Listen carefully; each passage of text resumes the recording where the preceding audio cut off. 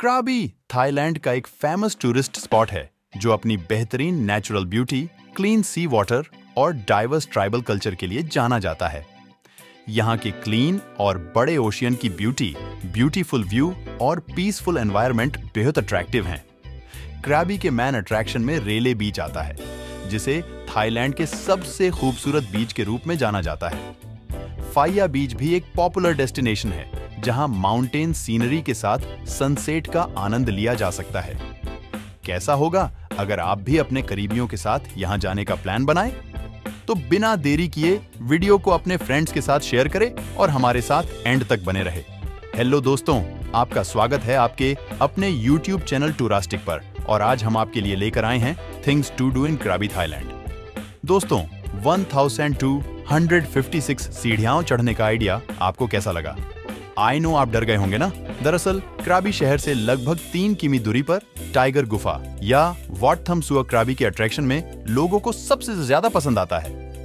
Public बस किफायती और सेफ़ ऑप्शन है, जो रास्ते में कई ब्रेथ टेकिंग व्यूज़ दिखाती हैं। इसे अपनी लिस्ट में नंबर वन पर ज़रूर शामिल करें। नंबर टू क्राबी में कई शानदार चट्टाने हैं। जो दुनिया भर के रॉक क्लाइंबर्स को अपनी ओर अट्रैक्ट करती है।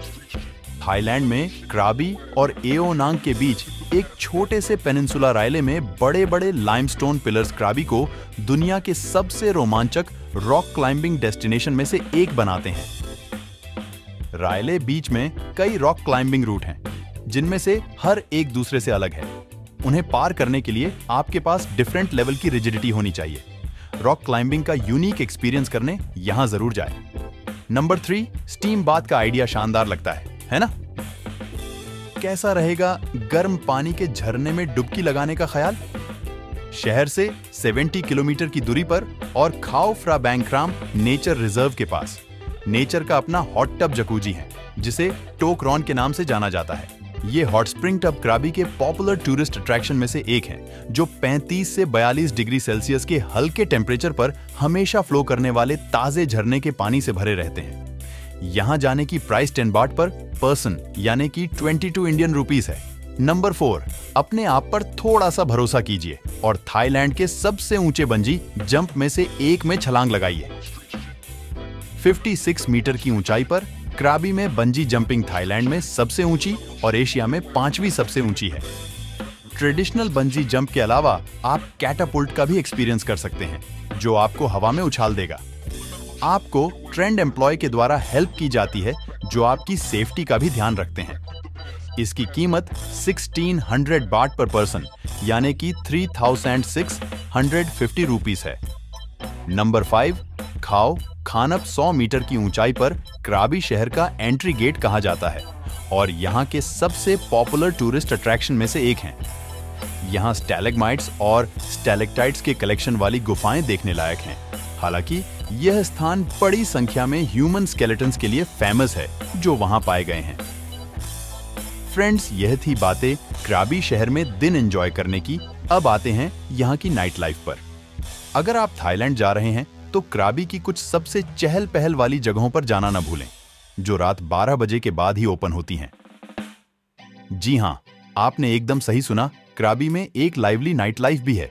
यहाँ पर आप एओनांग सेंटर पॉइंट जाइए। अगर आपको मिड रेंज स्वीट म्यूज़िक पसंद है तो आप बिल्कुल सही जगह पर हैं। Ao Nang night life entertainment scene का सेंटर पॉइंट है। क्राबी की नाइट लाइफ में फ़ी फ़ी रेगे बार भी फ़ेमस है। यहाँ पर आप कुछ ड्रिंक्स के साथ थाई किक बॉक्सिंग फाइट का मज़ा ले सकते हैं।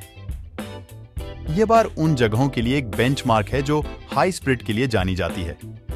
क्या आपने भी एओ नांग बीच पर एक लंबा दिन बिताया है और अब थक गए हैं? तो चिंता न करें।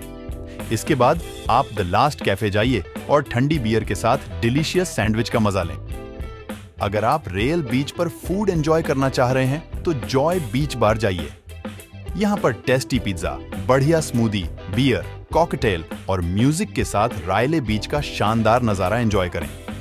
यहाँ आप पूरी रात पार्टी करें और सुबह छह बजे बार से सीधे मैजेस्टिक सनराइज का नज़ारा देखें।